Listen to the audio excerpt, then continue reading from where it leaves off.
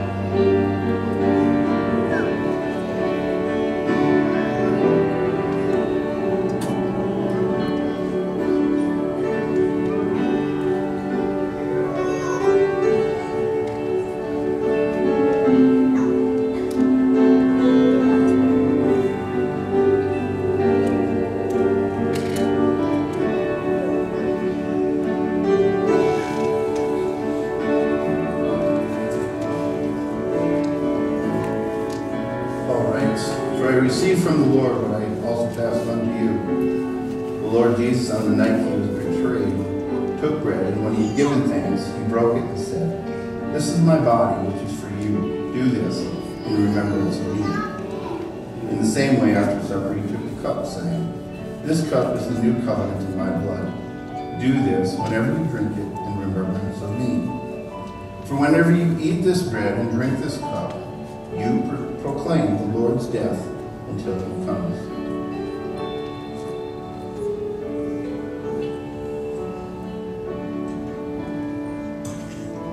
Let us raise up the bread and give thanks. Father in heaven, we thank you for the bread that we are about to take part in, identifying with our Lord and Savior Jesus, for what he did, Lord, for each and every one of us, each and every person willing to call upon you, to obey, to love, to honor, to exalt. Father,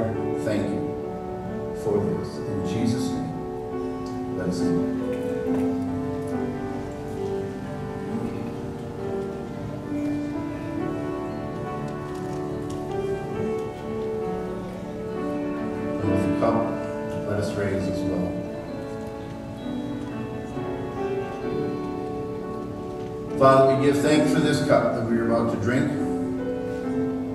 representing the blood that was shed for us as we drink of this.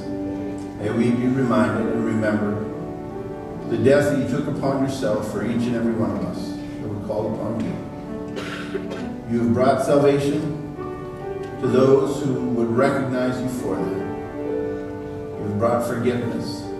You've brought justification. You have brought us into right relationship. As we drink of this, we identify with you, Lord Jesus.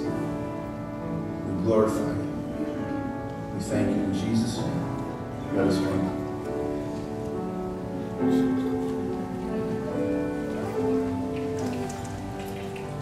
Father, we praise and thank you for your goodness, your mercies. Lord, as we continue to worship and fellowship, may you be honored and glorified. In Jesus' name I pray. Amen. Amen. Let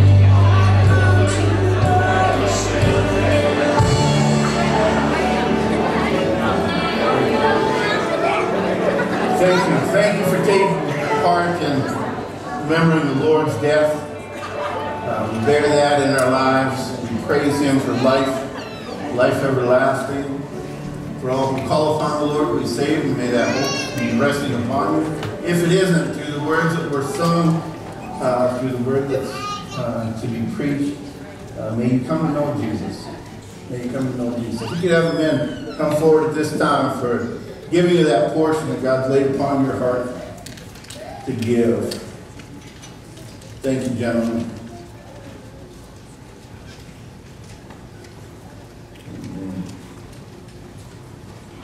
Let's pray. Father in heaven, we thank you for every opportunity to return unto you that which you have given to us. We give that portion that you placed on our hearts so we can give joy and confidence to you are the provider. You are the good and glorious God.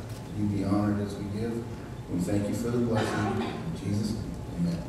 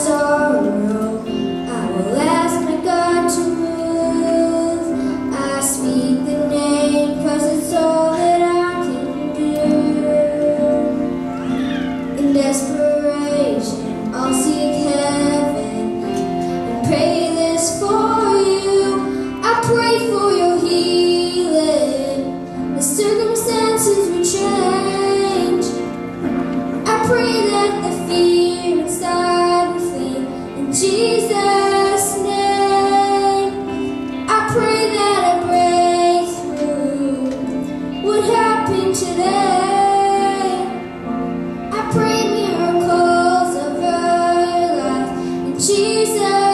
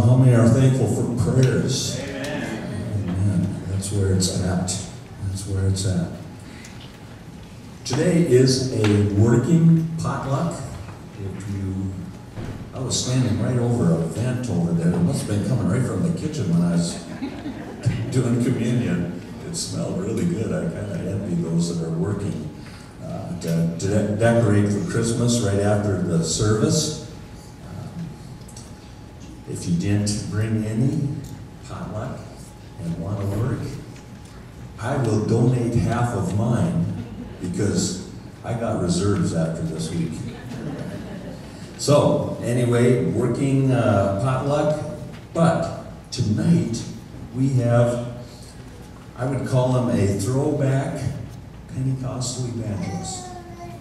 Some of us grew up uh, with evangelists coming in, and Dean Gosen, if you're familiar with him, is coming in at 7 p.m. Now, normally our Sunday night services only go till about 8. Uh, last time we had him, uh, it went quite a bit later, but you won't be sorry. Uh, and besides, there's not a Vikings game today. So you can take an AG nap. And if anybody wants to know what an AG nap is, talk to Jack and Cheryl. They'll tell you what an AG nap is. So, hopefully we'll see you tonight, 7 o'clock, Dean Gosen. Uh, this week, we got a lot going on. The Riverside Bible Study going on down at Pillager, 10.30 a.m. Wednesday night. Something for each one. I like that Forge name. I don't know who came up with that, but that is a great, great title uh, for the youth group. Uh, but there's something for everybody. 7 o'clock Wednesday night, Thursday, Bible study up at Liz's. Friday, the ladies' Christmas party at the Casino, 6 p.m. Bring five inexpensive gifts and invite some friends. Saturday is Authentic Manhood in the Sanctuary 8 to 10 p.m. Uh, also going on, uh, going on down at the school is in play. Some people involved in the church. Next week, uh, Christmas program practices are coming up. So bring your kids out for that. That's always a great tradition here at Casino for Christmas time. A few things coming up. Live Nativity as well, another tradition. Coming up December 16th. Still looking for more workers. 14th and 16th, 6 to 8.30 p.m. So, get involved. I like this note here on the pie auction. $3,100. Wow. And the loan offering, $38,000. You are generous people, and we appreciate it. Not just your money, but your time. We've got people that have been working all fall up there on the new church. Uh, we've got people in the trenches, week in, week out, working with children, doing the things that need to be done to keep the casino moving on.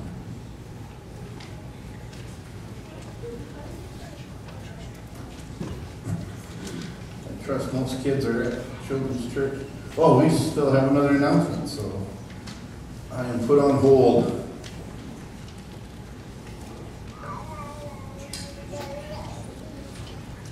Uh, hello. Um, so, just a reminder, the King's Castle El Salvador missions trip, the due date is coming up, the finalized due date, where your money has to be in December 2nd. So, for those of you going on the trip, December 2nd is the due date. There was one major change um, that happened with that, so we changed the dates.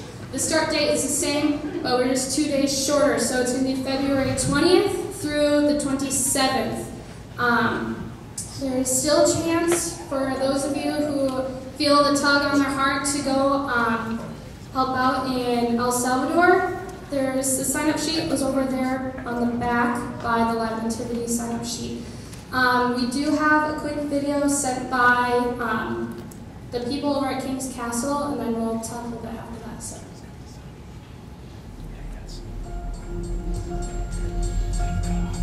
that.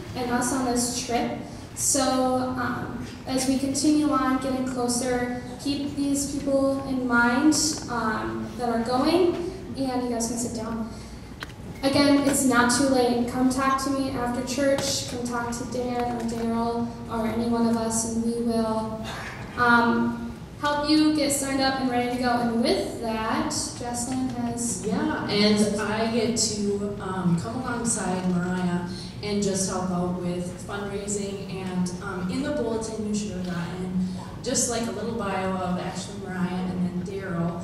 Um, so every week we're going to come out and just have some information um, about each person that's coming. And then what's super important is that specific prayer. Um, sorry. I am related to my dad. Uh, no, I'm just so excited for the people who are going, and we're a part of an awesome church family who gets to pray.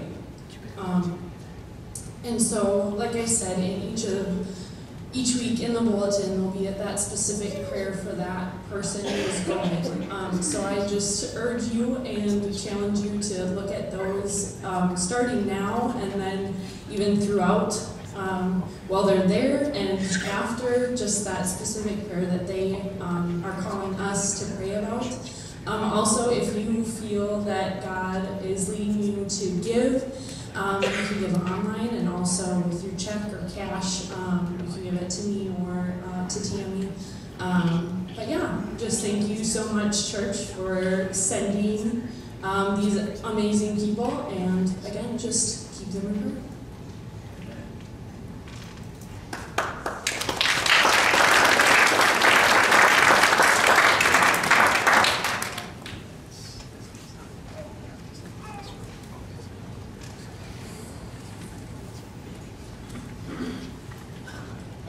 Um, we're going to be Revelation chapter 2, continuing on with the letters to the churches. Seven letters written. We've covered two of them so far. Uh, Revelations chapter 2. Revelation. Not plural, the revelation of Jesus to John. Let's pray. Heavenly Father, we thank you for your word. We thank you that it is sharp. We thank you that it cuts to the very marrow of our being, that the very issues uh, that uh, we deal are meant to deal with. I thank you for your Holy Spirit that is in this place, leading and guiding, calling people into relationship, guiding people closer in relationship, uh, Father, and, and the, the sharpening that takes place there. May the words that are said this morning, may they be a challenge, may they be an encouragement, may they be, may there be a conviction that falls upon each and every heart. Let me give you this time as we look at word now, in Jesus' name. Amen. Amen. So, uh, Revelation chapter 2, uh, we, we talked about Ephesus, we talked about Smyrna uh, the last couple Sundays. Uh, both those are port cities uh, in the uh, western part of Turkey, uh, presently Turkey, now Asia Minor, um, uh, known uh, in, the, in those days. Um, but now we move about 16 miles inland to the northernmost of these, of the, the seven churches that are addressed to Pergamum. And and I'm I'm going to read the letter to them, and then I'm going to go back and just talk about a little bit of the history and, and some background for Pergamum. Revelation chapter 2, beginning in verse 12. To the angel of the church in Pergamum, write These are the words of him who has the sharp double edged sword. I know where you live, where Satan has his throne, yet you remain true to my name. You did not renounce your faith in me, even in the days of Antipas, my faithful witness, who was put to death in your city, where Satan lives. Nevertheless, I have a few things against you. You have people there who hold to the teaching of Balaam, and who taught Balak, uh, who taught Balak to entice the Israelites to sin by eating food sacrificed to idols and committing sexual immorality. Likewise, also you have those who hold to the teachings of the Nicolaitans. Repent therefore, otherwise I will soon come to you and will fight against them with the sword of my mouth. He who has an ear, let him hear what the Spirit says to the churches. To him who overcomes, I will give some of the hidden manna. I will also give him a white stone with a new name written on it, known only to him, for uh, to him who receives it. Now, as we go back and look at this, um, uh, uh, several references in there. We hear the idea of the um, uh, Satan's seat.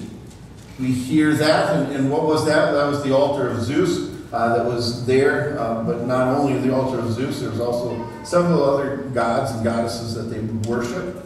Um, but the altar of, of, Zeus, the seat of Satan, um, interestingly enough, is uh, the replica of that is found housed in uh, Germany at one of their museums in Berlin, I believe. Um, and if you if, if you're a, a, history buff, if you remember uh, Hitler's podium and, and stadium, he constructed that with the idea of the altar of Zeus in mind. Okay, that, that that's what he took that um, that idea from. But it's, it's a it's an altar where they would worship the altar of, uh, at the altar of Zeus, um, uh, committing this idolatrous um, uh, uh, act against God. There was also within in this um, uh, the goddess, uh, or excuse me, Asclepius, um, the snake god, okay, a, a snake god, who could who was believed could heal. And so going into this temple, this this uh, false god's temple, uh, as you walk through the temple and you get you're, you're asking for this healing, and if, if it appeared that you got healed, what they would do as you exit out uh, a different portion of the building is on a white stone they would write your name as a witness, as a testimony to the reality of the healing by this God. Okay? On a white stone. And as we look at these letters, you're going to see God addressing certain things, uh, particulars like this Satan's seat, white stone. It's, it's things that were, that were, they understood in their city. Oh, I, I know what he's talking about. This is what this deals with. And so that's a little bit of the background that Jesus uh, has sent this revelation to um, Pergamum. And it wasn't just to say, hey, look how I can uh, coordinate all this uh, together. No. Um, what he did was, uh, in, in each one of these letters, it's for every church to read and take note. To take note is, is this me, God? Is this me, God? Am I bowing down to a false God? Am I, am I going after, do I place something before you, O oh God, in my life? Now, how many here would say you bow down to the altar of Zeus? Okay, it's the altar of Satan. Okay, getting further and further. Nobody would admit to that, right? Except for one that truly uh, uh, sits down and, worships Satan. Um, and, and, it's a reality that's taking place in America. It's, it's taking place in America. And as a church, though, we need to be careful um, that, that we don't allow that, that to come into our body, into the body of Christ. Well, that would never happen. Of course, we wouldn't come in and say, hey, we're worshiping God or, or worshiping Satan. We'd come in and we begin to do little things, right? So we need to be careful of that. Which leads me to that, the, the story of Balaam. Okay, uh, leading Balak. Hey, Balak, all you have to do, I, if you go back and read that in Numbers, I uh, chapter 30, uh, or excuse me, 22 through 24, um, Balak the king asked for the, the prophet Balaam to come and to, to proclaim this curse against Israel.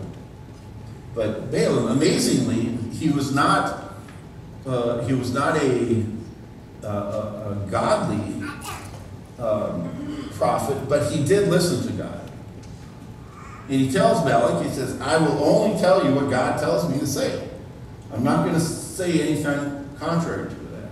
And so four times, uh, this Balak, uh, King Balak, asked him, hey, bring, rain down this curse upon them. And, and each time, um, Balaam would come back with, with his blessing. Israel is, is God's chosen people. Israel is to be blessed. Israel is to be honored. Israel is to be protected. You know, he keeps, keeps bringing this blessing back. And Balak's like, I'm paying you not for this.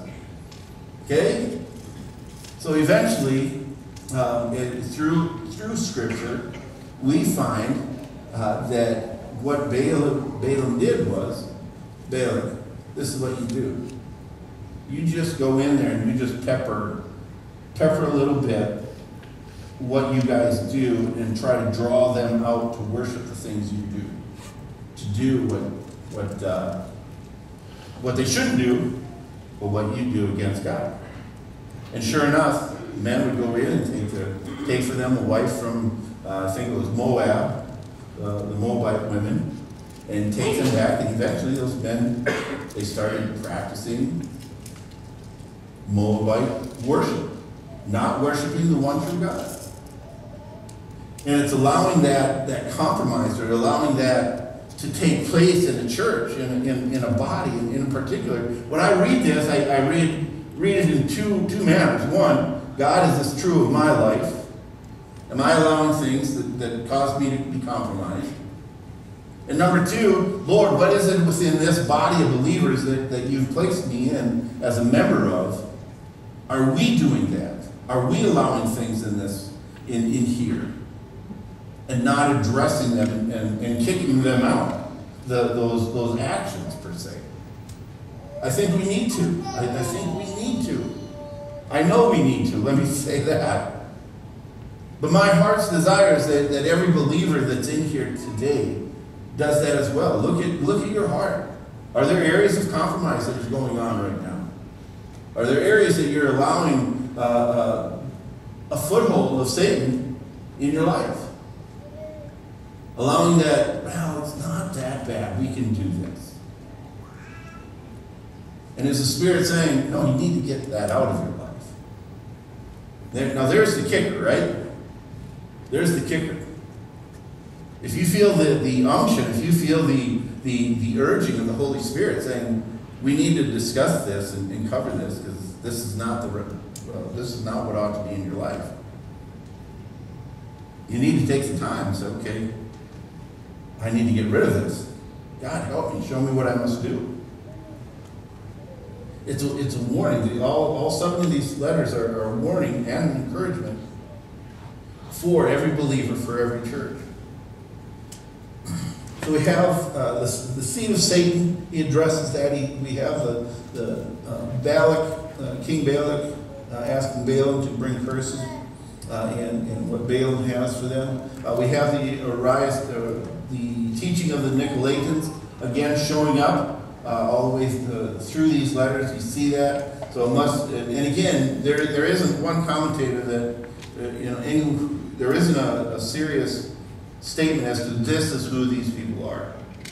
No Nicolaitans. They, nobody really knows. All we know is, is that they were teaching and preaching the wrong things and beginning to cause the church to, to fall into those things.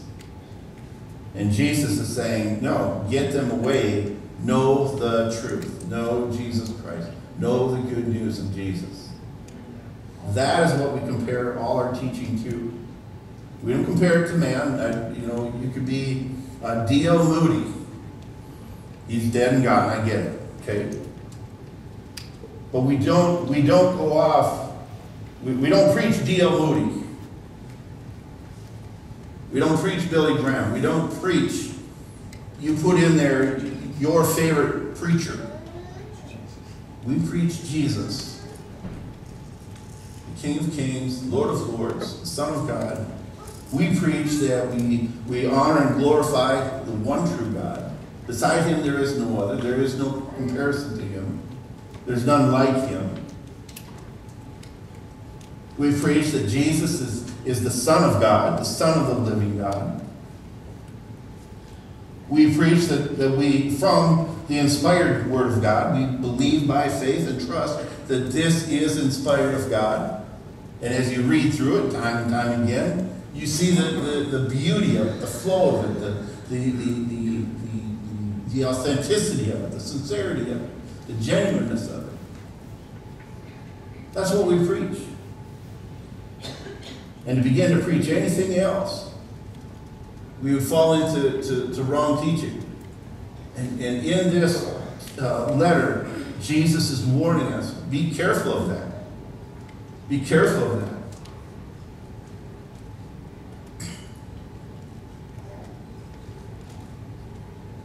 What does he say in verse 16? And he says, Repent, therefore. Repent, therefore. Change those things.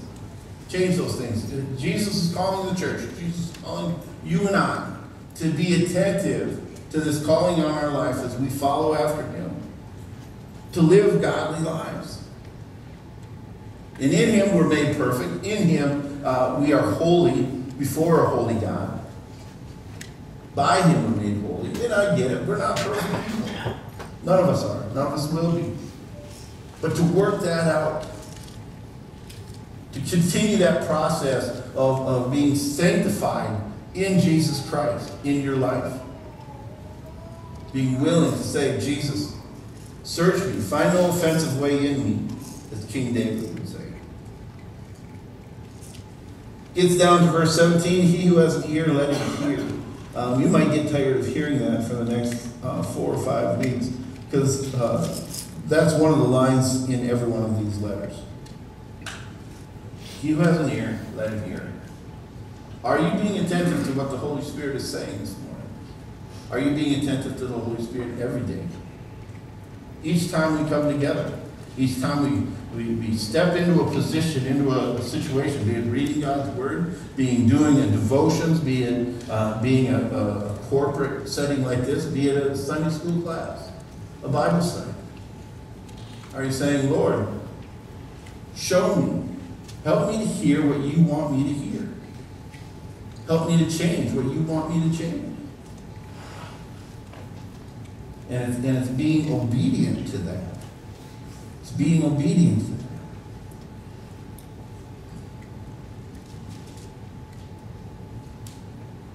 And in that obedience, to him who overcomes, I will uh, give some manna. Hidden of, of the hidden manna, I will also give him white stone. New name. Again, there's that reference to that that uh, uh, false god uh, that, that they would do in that city. And he's saying, no, you, you'll receive a new name. You will receive on a white tablet the true, true salvation, true forgiveness, true healing in Christ, in Christ alone.